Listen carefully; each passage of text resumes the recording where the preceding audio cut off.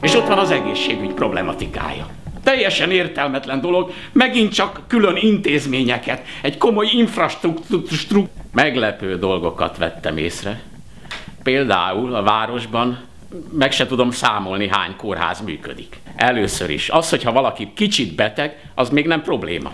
Ha valaki nagyon beteg, négy kézláb, vagy, vagy csak nagyon furcsán tud közlekedni, akkor az még megint nem probléma, mert, mert megint miért foglal el a kórházban egy ágyat valaki, aki csak négy kézláb tud menni, nem teljesen mindegy, hogy négy kézláb a kórházban, vagy otthon mászkál. Hát kérdem én, mi szükség van altató gépre például?